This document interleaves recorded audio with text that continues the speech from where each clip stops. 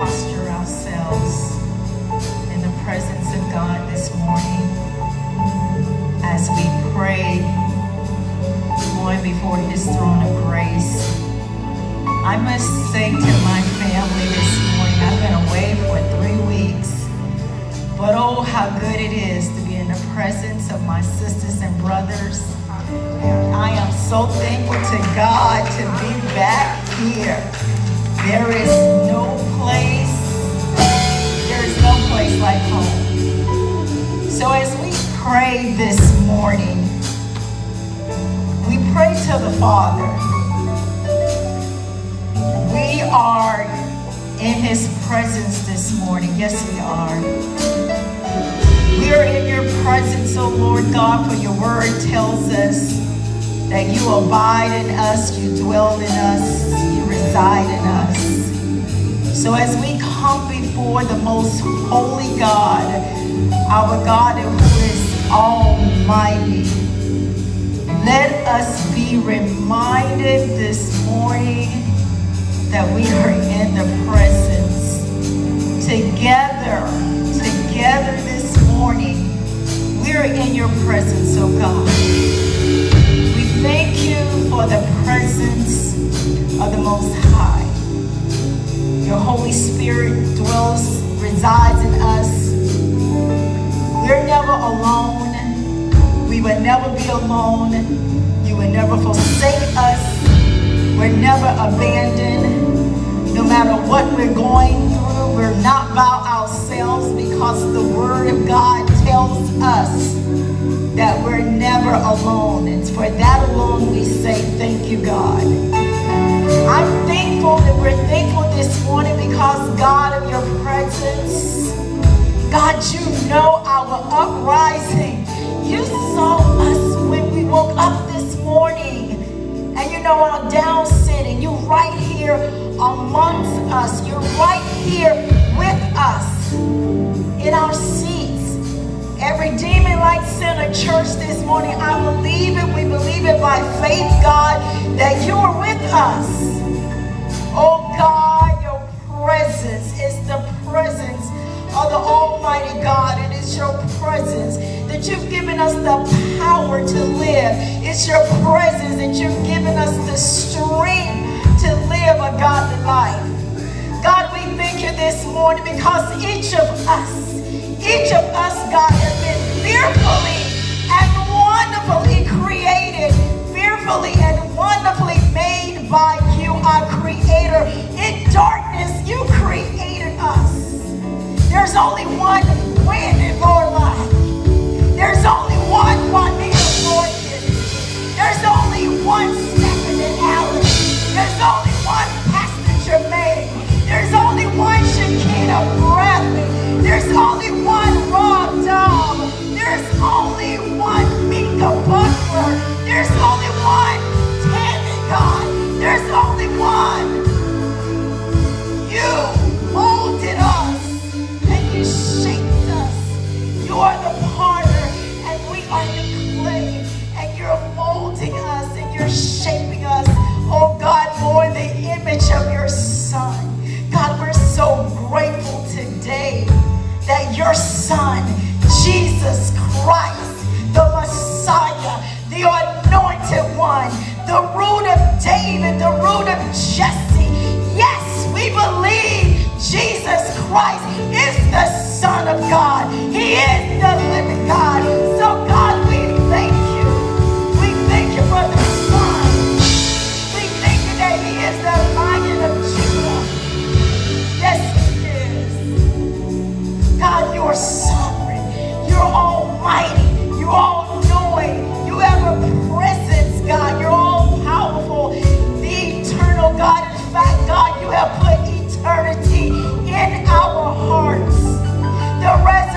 resurrection power that rose Jesus from the dead. It's the same resurrection power that you have given to us, God.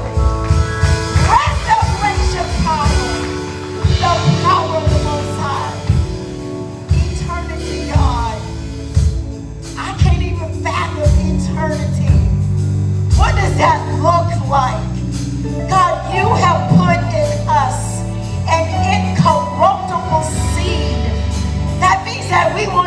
die because the grave has no victory over us. All of those that have gone before us, our loved ones, God, we will see them again because the trumpet shall come and they shall rise and we shall be joined together. What a promise, God, that you have made to us. A promise. That's your promise. And you are a promise keeper. Because you're sovereign, God. We thank you for your gift of mercy. And we thank you for your love, God, that is unconditional.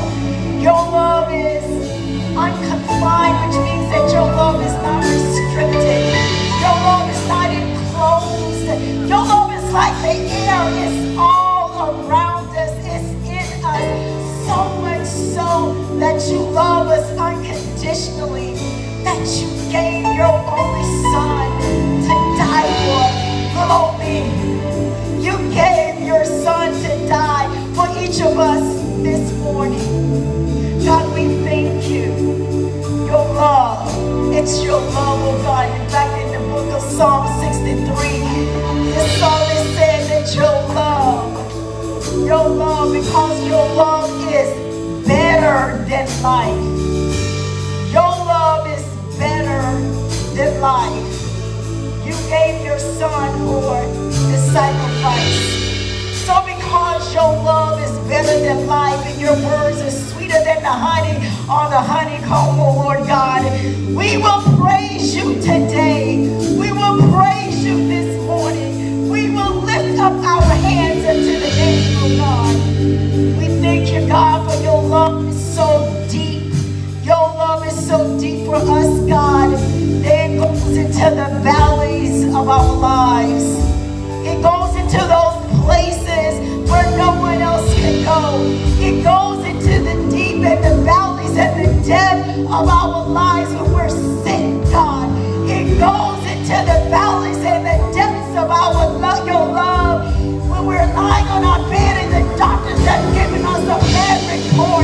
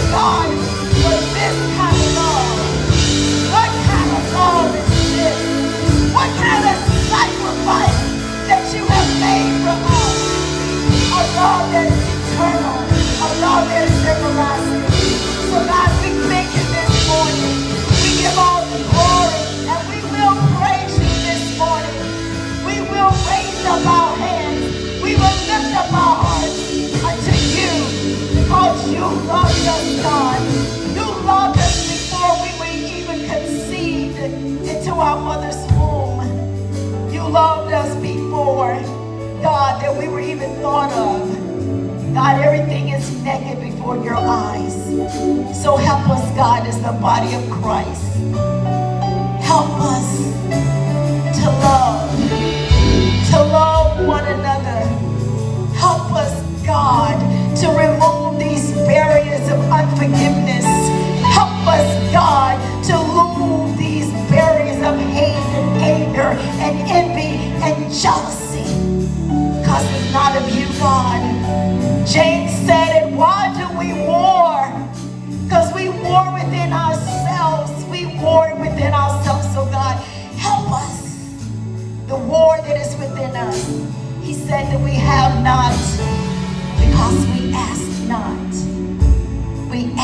this morning, God, for your help. We have not because we ask not. And when we ask God, let our motives, let our motives be right. Let our motives be pure. Help us, God, as you continue the process of sanctification as we go through. And you're making us better and better each day. That your will be done in earth as it is in heaven. Thy kingdom come, thy will be done in earth as it is in heaven. God, we thank you for Jesus for all our sickness, all our diseases. He took away all of our sins and our iniquities. He who knew no sin, he became sin for us. What a love, what a love. And if we love you, God, you said that you would obey my commandments. Give us a heart, a heart of obedience. God, we thank you for this love that you have for us. This love that is unconditional. This love that we ask in the body of Christ that we will be unified. Although we're members, but there's only one body. There's only one Christ. There's only one Lord. And there's only one baptism. God help us to be clothed with your love. Help us to care about one another. Help us, God, to be united because there's much work to be done in the kingdom. Help us, God, to be as one in Christ. The kingdom of God suffer violence, but the violence taken by force. And we have been created, oh God. We have been created to do good works unto you. God, I pray this morning that the work that you have done in each of us, that you will complete it until the day of Jesus Christ. And the work that you have done in Redeeming Light Center, the work that you've begun in Pastor Jermaine Reynolds, God, that you will complete your good work, not just works, your good works until the day of Jesus Christ. So God, we thank you and we praise you. Our soul is anchored in the Lord. Our soul is anchored in the Lord.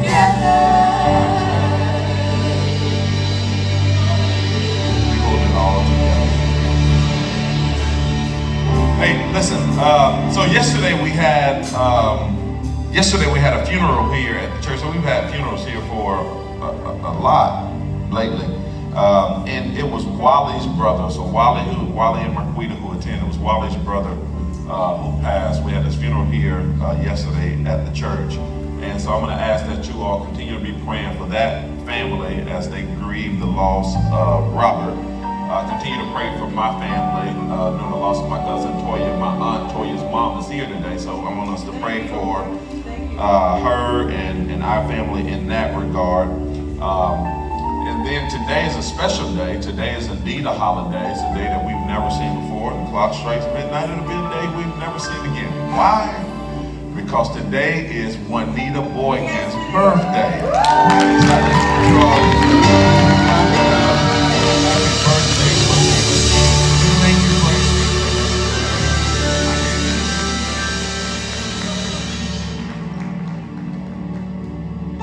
Please take a seat. There we go. That's a little bit better. As you take your seat, God is good. All the And all the time.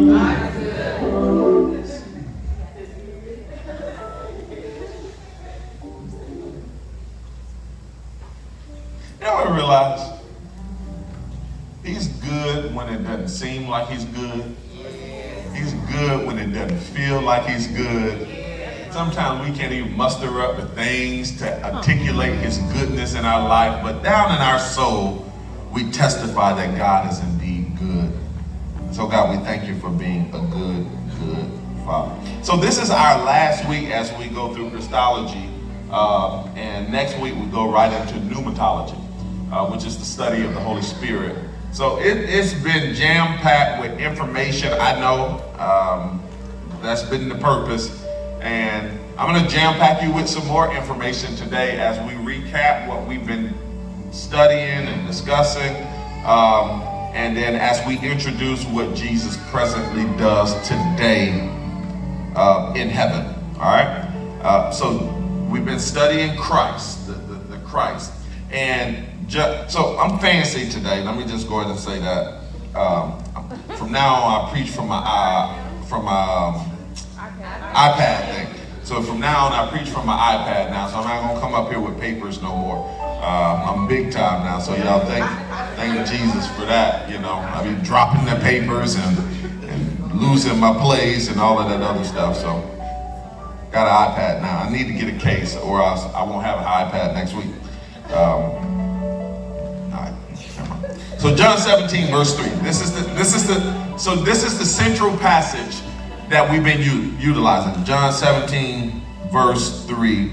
Now this is eternal life, that they know you, the only true God, and Jesus Christ, whom you sent. All right, so when we define and we start explaining and trying to figure out what eternal life is, what eternal life encompasses, then we go right here to John 17, verse 3. Like amongst other scriptures, like there are various other scriptures that we utilize when talking about eternal life that the Bible speaks about. But when we talk about eternal life, we go John 17, verse 3. This is what Jesus says. Now, this is eternal life, that they know you, right? The only true God and Jesus Christ, whom you sent. So, what's eternal life? Knowing God knowing Jesus. What's eternal life? If somebody was to ask you to know God through knowing Jesus. And why do I say through knowing Jesus? Because Jesus declares in John chapter 14 that he is the way. I, I like y'all know about this good Bible now. He is the way, he is the truth, and he is the life. No man goes to his Father except through him. All right, so what is eternal life? To know God the Father through God the Son. Jesus says, I and my Father are one. How do we obtain eternal life? All right, we get into all of that as we study the person of Jesus. So that's why we spent so much time kind of just studying Jesus and talking through Jesus, not preaching at you, but we're coming along on this journey together to get to know and understand Jesus. So, who is Jesus? A lot of uh, misconceptions about Jesus and who he is and where he come from, and what he looked like and what he talked like. Did he wear cologne? Did he like, like all, all of this stuff, right? The last one was a joke, all right? That, jokes don't tend to go over well, much like Minister Randy's joke, but. Um, Two, two, things in the beginning that I have outlined for us to know about Christ. One, about his deity. Two, about his humanity. All right? So we believe that Jesus was both God and human. That's a mystery that's hard to explain sometimes, much like the Trinity. But we believe that Jesus is 100% God that speaks to his deity. And then we believe that Jesus is 100% human. Uh, so when we talk about Jesus' deity, the first thing that we identify with his deity is that Jesus pre-existed. Jesus is eternal, meaning Jesus' beginning can't be traced. Jesus is in cannot be traced. Or in other words, we've heard it said, you are the Alpha. All right, church, y'all. All right. Isaiah verses 9 and 6 says this, For a child has been born to us, a son has been given to us, his, his he shoulders responsibility for us, and this is what he is called, extraordinary strategist different, different translation than what we're used to. Mighty God, everlasting Father. So this is three to four hundred years prior to Jesus' being born. The prophet Isaiah says something about the Messiah that would come. He shall be called everlasting Father. Now, when the Bible mentions Jesus being called everlasting, it's simple. It is simply saying that Jesus pre-existed as God. So when we speak of Jesus' as deity, we speak of him as God because he was pre-existent. In fact, we go on in John chapter 8, verse 58, and it says this. This is what Jesus says when he was talking to those uh, Pharisees. He says, I tell you the solemn truth. Before Abraham was, I am. Why is I am significant? Because we see all the way back in the Old Testament, hundreds of years before Jesus would crack the scene in his humanity, that Moses has an encounter with God the Father, and he's having a rough time trying to understand this particular assignment. And he's telling God, I, I, I stutter. They won't listen to me. Who should I tell them sent me when Pharaoh asked, whose name do you come in the power of? God's response to Moses back then was tell them I am sent you. So now as we fast forward four or five hundred years later, Jesus is talking to these same Pharisees that were familiar with the scripture and they're talking about, you know, you're only, you're not even 40 or 50 years old. Like, how, like, how, what do you mean? What are you talking about? Jesus said, well, I'm going to tell you something. He says, before your, your, your, your so the, the, the, the Jews at this time, there was two prominent figures in Judaism. Moses and Abraham.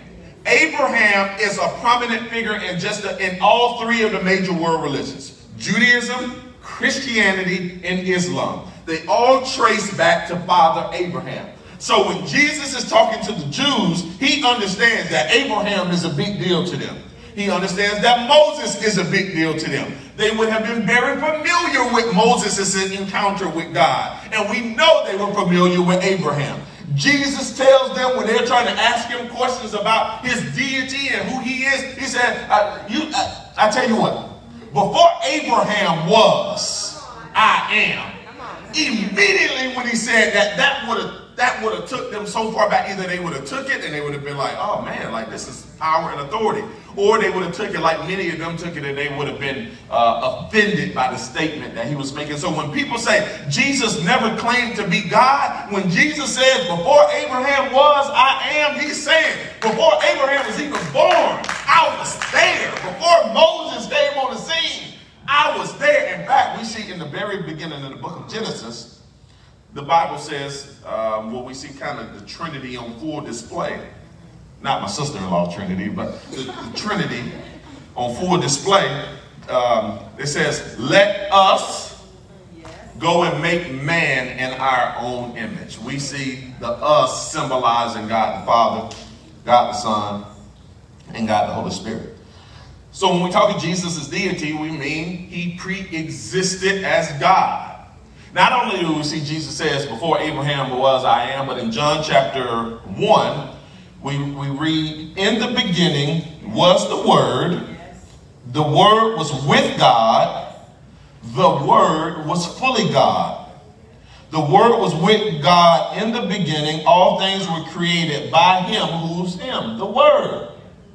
All things were created by Him, and apart from Him, the Word, not one thing was created that has been created. And as we go to verse 14 of John chapter 1, we see that the Word became flesh, Jesus incarnate, and dwelt among us. So now when we read John chapter 1, verses 1 through 3, listen to this. In the beginning was Jesus. And Jesus was with God. And Jesus was God. Jesus was with God in the beginning. All things was created by him, Jesus, and apart from him, Jesus, not one thing was created that has been created. Jesus is God. Yes, Jesus is the Son of God, separate and distinct from God the Father, but Jesus in his deity is God as well. This mystery, this union, this theological term that we use to describe this union yet distinction is the Trinity. One God who eternally exists within three distinct beings. God the Father, God the Son, and God the Holy Ghost. We see this distinction take place immediately after Jesus was baptized. In addition to what we see in Genesis, when God says, or the scripture says, let us go make man in our own image, we see in after Jesus is baptized that the, a, a voice comes from heaven. The voice is from God the Father to God the Son, saying to those that were present, This is my beloved Son, whom I am well pleased. So we see a distinction between God the Father's voice and his son being baptized. And then we see Jesus looking towards the heaven and the Holy Spirit coming down in the form of a dove and coming upon him. Three. Three. All cohesively working together as Trinity. Somebody shout Trinity. Trinity. In Colossians chapter 1, verses 15 through 16, this is what we see the scriptures say about Jesus. He is the image of the invisible God. Has anyone ever seen God? No. When have we seen a picture or an image of God, the Father? Through Jesus. The scripture says Jesus is the image of the invisible God, the firstborn over all creation. For all things in heaven and on earth were created by him. All things, whether visible or invisible, whether thrones and dominions, whether principalities and powers, all things were created through him and for him. Who's the scripture talking about? Jesus. So the scripture is unequivocally clear when it talks about Jesus' deity existing as God. John chapter 5, verse 23, Christ said, The one who does not honor the Son does not honor the one who sent the Son. What is Jesus saying? He says, I'm deserving of your worship. And if you cannot worship me, then you do not worship my Father. There's a lot of people that think they can do a lot of things to please God the Father.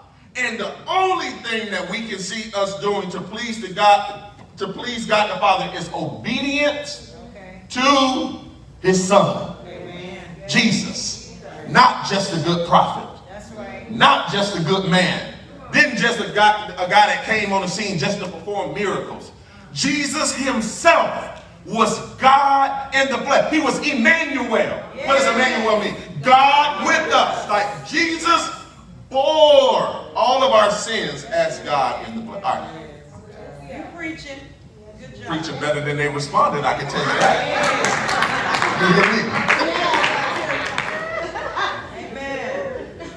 So Jesus is God, yet Jesus is distinct or separate from God. All right.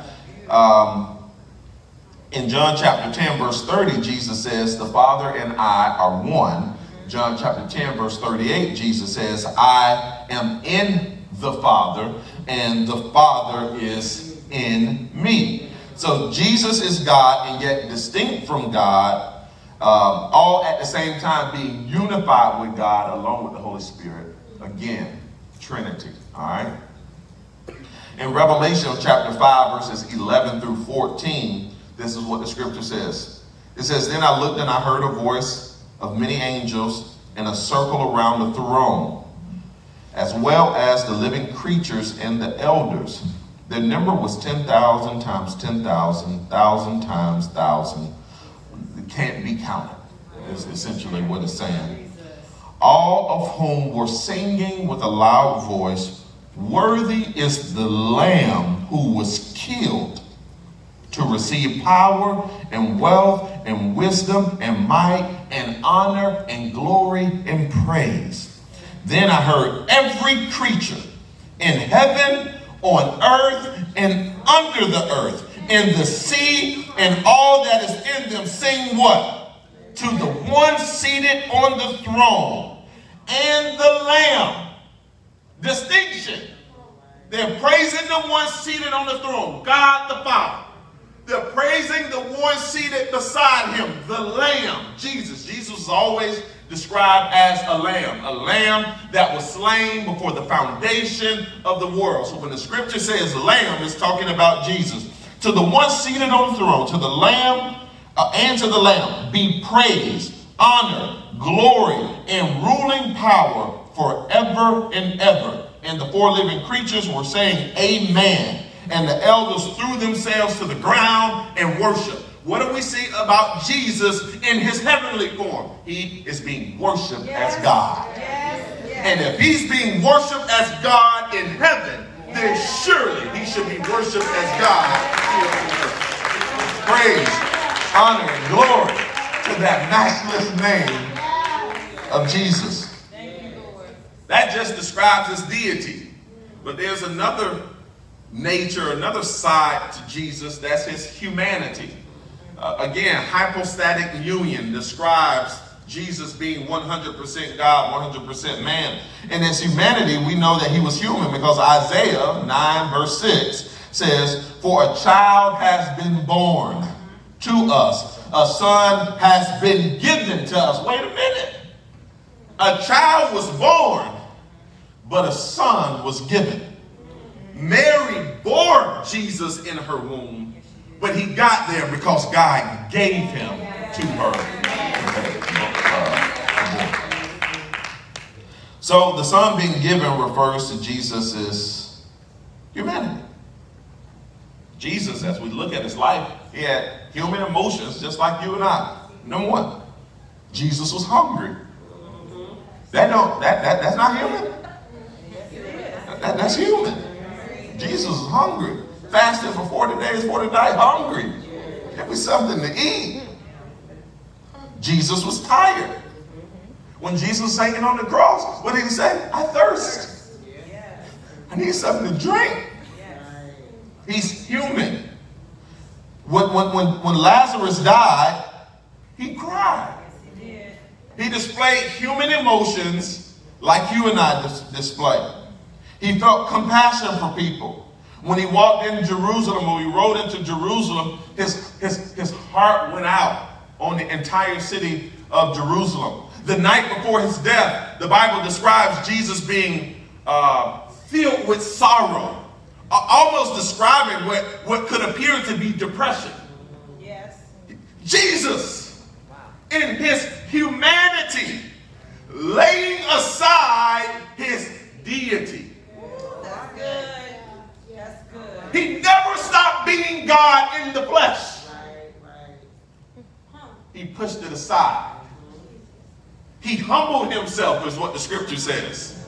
He, he humbled himself and became us so that we could then receive what he offered his righteousness. We call Jesus coming in the flesh the incarnation. Right? God becoming human. Why does Jesus become human? Why is the incarnation so important for you and I? One, so that Jesus could empathize with us. As human beings, there was a disruption in our relationship with a holy God. Happened in the very beginning with Adam and Eve. When they decided to rebel against God, there was a disruption in the relationship. God, being holy, could not be in the presence of sinful human beings. And so that relationship was, what, what's the word? There's a, um, that relationship was alienated. It was, it was destroyed. It was ruined. And so when Jesus comes and he is incarnate, he is he comes in the form of God and humanity. He does it so that that relationship with God the Father and humanity can be restored. So the, in the incarnation, Jesus put aside his full divine attributes. So there are some people that say, you know, you know, he never stopped being God, and so that means you know, he had an unfair advantage as a human. Right? right that's what they said. Right? He had an unfair advantage as a human because he was still God. Jesus, what I'm saying to you is Jesus lays his divine attributes or his glory aside to become human, to empathize and relate with us in our humanity, and to be able to help us when we struggle in our humanity. Amen. Amen. Amen. That's good news. That's good. That's great. That we serve a Savior, hold on, watch this, who's God, Yes. but not so much God that he can't come down and empathize with you and I.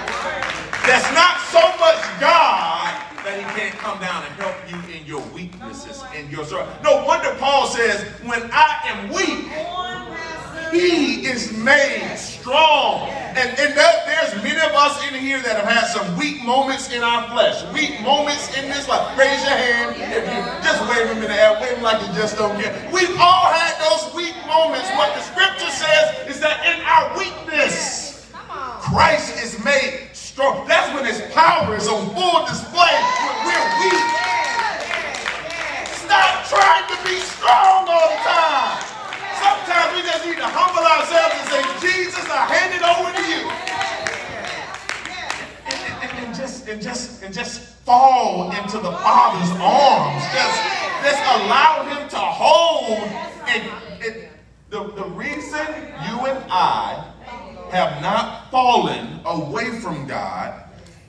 because of the scripture that says, Now unto him who is able to keep us from falling.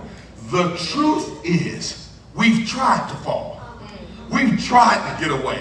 We've tried to run. We've tried to disconnect ourselves from God. Jonah, when God gave him the assignment to go to Nineveh, Jonah ran as far as he could run. Some of you have been running and running and running and running. And you realize, why do I keep ending up back in the same church or in the same position to where God is speaking to me? He says, stop running. Fall into Jesus's fall into his arms. Check this out. The fact that you feel the tug of Jesus is something that you should never take for granted. Oh, hallelujah. Come on, talk about it. Because there are many who have never felt the tug of Jesus. The, the Holy Spirit came into the world to convict the world of sin. So there's an element to the world that understands that there's a God that exists beyond us as humans. But I'm talking about something different. I'm talking about feeling that tug of Jesus. And if you felt that tug of Jesus, I encourage you to stop running from him, embrace him, turn to him, because that could be regeneration at work in your life by which the Father is drawing you to him. Ah, so Jesus, that's a blessing. That's heavy the, right there. The incarnation, in the incarnation, Jesus Christ put aside his divine attributes. Matthew 24, 36 says this. But as for the day and the hour of Jesus' return, no one knows it. Not the angels in heaven, not Jesus. Wait a minute. God knows everything. What are we? Three things that describe Jesus omniscient, omnipresent, omnipotent. All powerful, all knowing, everywhere. Well, how does Jesus not know when he's going to return? In his humanity. He laid aside his divine attributes. So the scripture says of Jesus' return, no one knows, not the angels in heaven, except the Father alone. Christ put aside his full use of his omniscience while he was on while he was on earth. The second reason the incarnation is so important is because Jesus put aside his independent freedom as God. In Hebrews 5, verses 8 through 9, it says this Although he was the Son, he learned obedience through the things he suffered. And by being perfected in this way, he became the source of eternal salvation to all who obey him. Let me read it again. Hebrews chapter 5, verses 8 and 9. Although he was a son, he learned obedience through the things he suffered. This is Jesus. By being perfected in this way through the things that he suffered, he became Jesus, the source of, not the sources, Okay. not the many roads that lead to God, Right. as many other people will have you believe. There are many roads that get to God. Jesus, according to the scripture, is the road that gets to God the Father. He became the source of eternal salvation to all who obey who? Him. To all who obey him. To all who obey Jesus. He becomes the road to eternal security with God the Father. To eternal life with God the Father. Through obedience to God the Son, Jesus Christ. How did Jesus learn obedience in his humanity? Even though Jesus was always submitted to God the Father as a man, he learned obedience to God the Father separate than what he learned when he was in heaven. In heaven, he was always submitted to God the Father. He and the Father were one, but he was always submitted to his Father. But in his humanity, he has to suffer. In his humanity, he has to be broken and beat down. And, and the Bible says that during the brokenness and being beat down, he learned obedience to his Father. Wait a minute.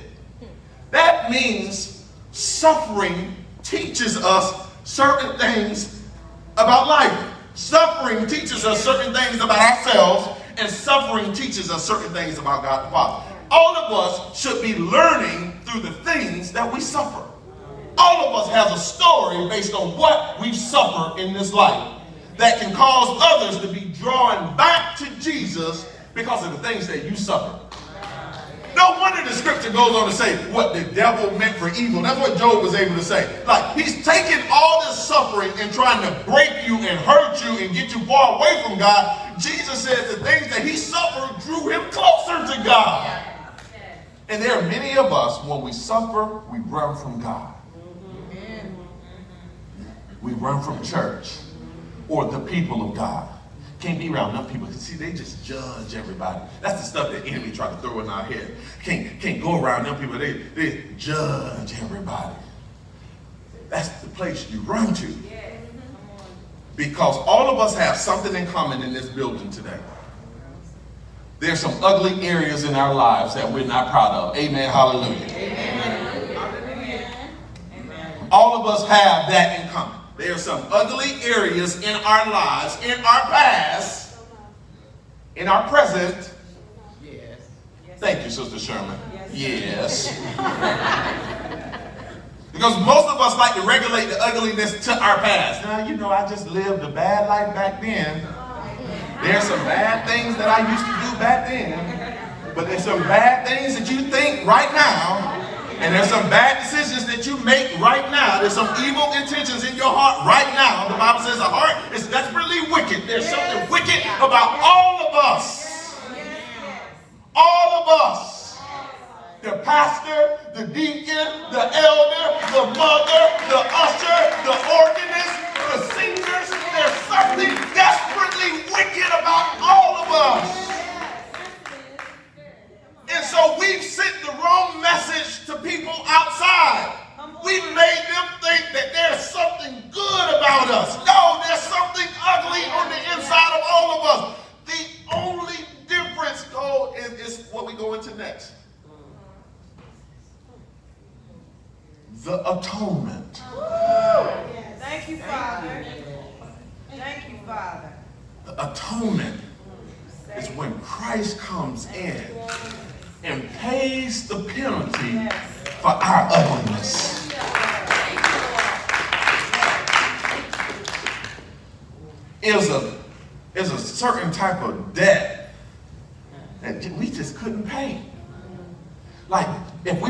church 365 days out of the year and fasted 365 days, and, and, and, and read the Bible 24 hours of the day and prayed the other time, whatever the other time is left after 24 hours, Yeah.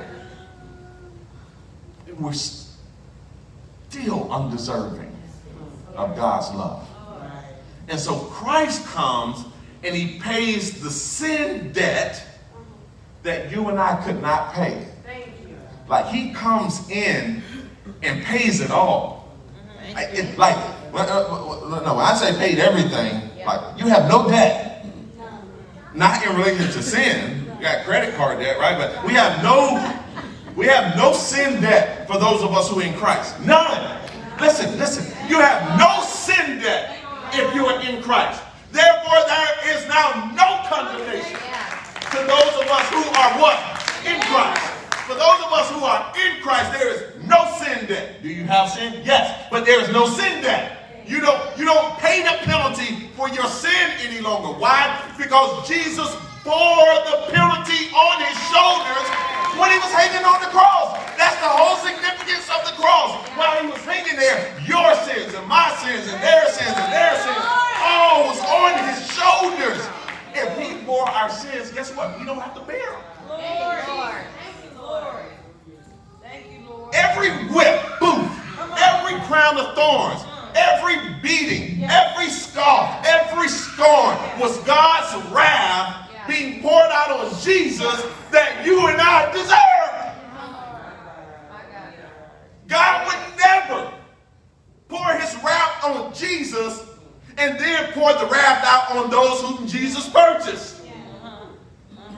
Jesus' punishment was powerful enough to where it, it what was the scripture? Like it- it's from it, from everlasting to everlasting. Like it's so it's so powerful that it, it, it keeps us in our past, keeps us in our present, keeps us in our in our future. So when we talk atonement, we're talking a sin that was that was paid that you and I could not pay. So that's why we go hard for Christ. Because this is the other side to the sin that was paid. That was paid. You were purchased. So, so you can't take the sin debt that's available and then live according to you because you are no longer your own. You were bought, the Bible says, with a high price. It almost likens it to a slave that will never be able to get out of slavery because you'll never be able to make enough money to be able to buy your freedom. But then somebody comes on and buys your freedom. So you're free. Whom the Son set free, you're free, but you're free to serve the Son. So when you come out of the, the, the shambles of sin and life, you're free, but you're free to serve the Son. And so when we talk salvation, we always say salvation is a free gift from God. True. But it wasn't free to God. It was free to you. But it wasn't free to God. God had to sacrifice something for your sin debt. God had to give up something for your sin debt. God had to, God had to let something go that he cherished for your sin debt. And he sacrificed his son. And he sent his son down, what we used to say, 42 generations. And, and, and he put on human flesh. He was obedient unto death. He was crucified, buried, went down to the depths of the earth. Some people say he went down to hell. There's no passage in scripture that says he went down to hell, but he went down to the depths of the earth. Right? We call it uh, Sheol, the place of the dead. Goes down to the place of the to, to the depths of the earth and begins to preach to those that were captive. And, and then he's resurrected from the grave on the third day. And when he gets up from the grave, he says something astonishing to his disciples. He says, All authority has been given to me in heaven and in earth. So this Jesus that we serve, once he got up from the grave, he got up with all power in the palm of his hand. You don't just worship a good prophet. You don't just worship a good man. You worship the king of kings. Nebuchadnezzar, Julius Caesar, none, none, of, none of the great kings of the past, if you put them all together, have nothing on the king of kings. That's why when we look at our relationship with Christ, this is not a democracy. Jesus and you don't negotiate the terms and the conditions of the contract. You don't sit down with Jesus and say, well, I'll do this, Jesus, if you do this. You know, we've all said, God, if you get me out of this situation right here, just get me through this. Get me out of this relationship right here. I promise you, I'll serve you all the days of my life. If I wake up in the morning and I ain't got, and, and that bill is paid, God, oh, just, I don't know. Like, like we, we are always negotiating. We, we don't negotiate with Jesus. The price that was paid was his blood on Calvary's cross. The terms are full obedience to Jesus. The, the, the price, his blood that was shed. Now when you when we when we do communions and we sing songs like the blood that Jesus shed for me way back on Calvary, like when you think about it, man, it hits different. Like, man, way back on Calvary, the blood, that gives me strength from day to day. It will never lose its power. Thank God it reaches. Yes, come on, the. I, I wish I knew how to. To the highest mountain. And it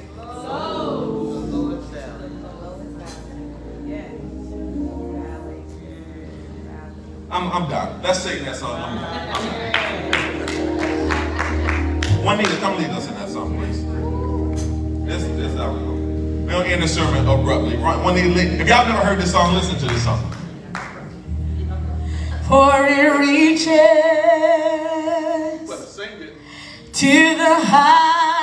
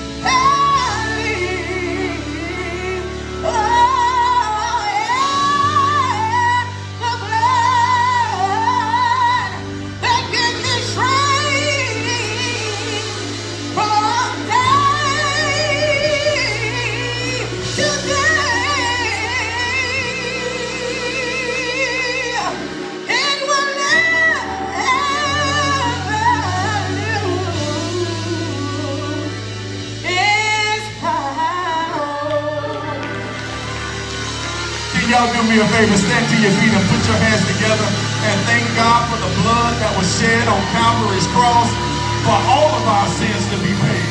The blood that was shed on Calvary's cross to purchase your redemption, to purchase your freedom,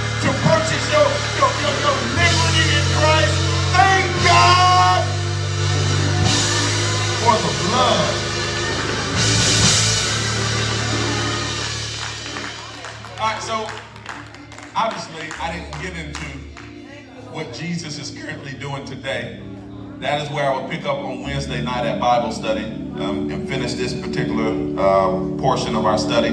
Um, uh, on Wednesday night. So I encourage you all to get on Zoom for one hour, 7 to 8 o'clock. Get on Zoom from your homes and, and participate in Bible study. Uh, so perhaps there's some of you all in here that are trying to figure out why we all excited and why we all happy. It's because we are in relationship with Jesus. And he saved us when we didn't deserve to be saved. He saves us continuously when we don't deserve to be kept. And he's going to keep us until he returns and puts all things under his. So our eternity is secure in Jesus. We don't go to sleep at night on eggshells thinking about if something happens to us, where we going to go. We know we're going to be with Jesus forever. The question is, do you know? If Jesus has been tugging on you, this is your opportunity to respond to that tugging. I give you a chance now. If you want to respond to the tugging of Jesus, maybe you don't want to come all the way to the front. If you want to come to the front, come to the front. If you want to respond, slip your hands up in the air and we will get with you immediately following service. I think it's bigger than us praying a prayer, right? Like I think the prayer is necessary, but the Bible says if you confess with your mouth the Lord Jesus, believe in your heart that Jesus crucified, buried, and raised from the dead, you shall be saved. Nowhere does it ever say if you sit down and begin to pray a prayer. Right now, I'm not, I'm not telling you not to pray the prayer. I'm just telling you that if you confess Jesus, salvation is available to you. But you have to be, you have to be discipled. You have to be taught what it means to be a follower of Christ. You don't have to be taught so that, you know, you can earn salvation. It's free.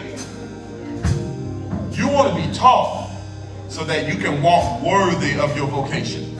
You can walk worthy of the price that was paid for your sin. So if you would, come to the front, come to the front, come to the front, come to the front. Pastor Charlotte, come up here with us. Shakita, come up here with us.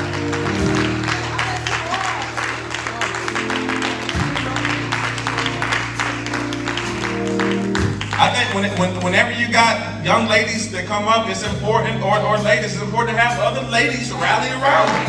Godly women rally around. When you got brothers to come up, you have godly men to rally around them. Because the truth is, this journey was never designed to be done alone. Like none of us are to do this alone. That's why we still come and we gather on Sundays. Is to sharpen and build each other up to grow in our relationship with Christ so we can go out and put, put the world on fire for Jesus.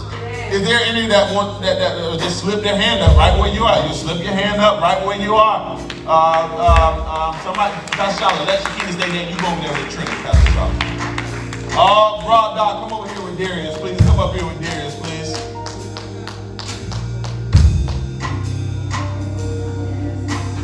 The Lord has been working on Darius for a while. And I'm telling you, this brother is rock solid.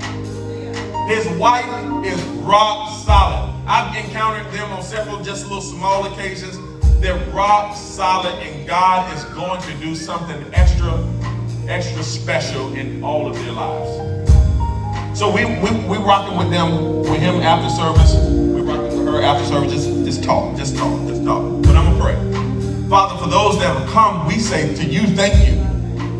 Just just thank you for this opportunity. The Bible says that when one sinner returns to God, the angels in heaven rejoice. And so, God, I thank you for the angels that are rejoicing in heaven over one that returns. God, I pray for their lives, that their lives would have so much more meaning, purpose, because their identity is wrapped up in Jesus. Jesus, we love and we praise you. In Jesus' name. Let the church say amen. amen. Say amen. Put your hands together. Bless the name of the Lord.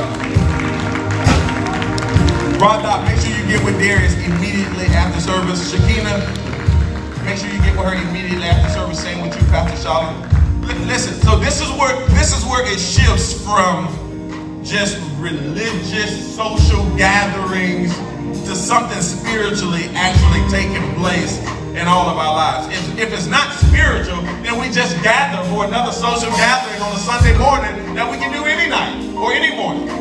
This is when God is at work, the Holy Spirit is at work, and there are times in which after we're done here, we still minister. We stay at the altar, we go into the office, we sit in the car, we get on the phone, and we do the work that God has called us to do. So this is what I'm gonna do. This is how we're gonna close this out, because I want to close us out in the same way. Uh, I know we have announcements, uh, which is vacant. The main one is Vacation Bible School. We're starting Vacation Bible School not next week. Wait, next week. When is Vacation Bible School? Oh. The 18th through the 22nd. So if you've not registered for Vacation Bible School, it'll take place all week here at the church. Bananas last year. All right, it's, it's not like this. Like it's just register for Vacation Bible School. Young to the oldest. Like we want everybody here growing that week, and then we'll close it off with a picnic or a barbecue of some sort. That's is that the only major announcement? All right, cool. And uh, offering. This is how we're gonna do the offering. We're gonna we're gonna honor the Lord in our giving. We're gonna worship the Lord in our giving on your way out. Um, you might do it on your way home or whatever the case may be. But utilize Cash App, PayPal, EasyTithe, or if you want an envelope, slip your hands up. One of the ushers can grab you an envelope and you can fill that out as we're closing service. Once you want it, once you fill it out and you put your gift in there, give it to uh, Deacon Jerian in the back. Any of the deacons in the sign room, give it to them on your way out and they'll make sure it gets taken care of. Is that cool? That works, Shakina? All right, cool. Father, I thank you so much for this day. This is the day that you've made. We rejoice and we're glad. We're going to leave this place, but never your presence rocking out for Jesus. Now unto him who is able to keep us falling and present us faultless before his presence with great joy. To the only wise God, our Savior, be majesty, dominion, power, both now and forever. Let the church say amen. Amen. amen.